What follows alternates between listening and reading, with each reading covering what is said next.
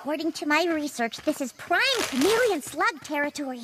They can hide their slimy bodies, but they can't hide their slime tracks! And they're leading to nowhere now! Thanks, Erwin! Oh, Charlie horse, Charlie horse! Shh! You'll scare off the slugs! Sorry, just trying to help. But it's difficult with the thought of my impending doom at the mouths of countless hidden beasts.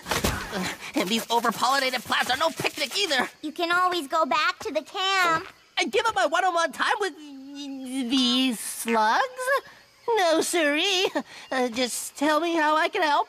You can start by simply staying silent and still. You got it. Silent and still. Erwin!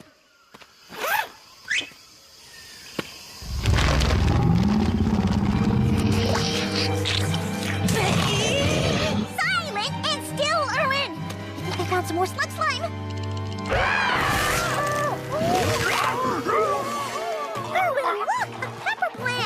Plant! Erwin?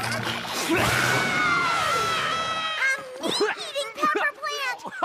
Fascinating! Oh, uh, hang on, Erwin! What does that fool Zog have that I don't? Erwin, are you okay? Uh, no lemonade for me. The cheap stuff burns my cankers. You found a meat-eating pepper plant, Erwin. I'm so happy I could give you a, a, A hug? A kiss?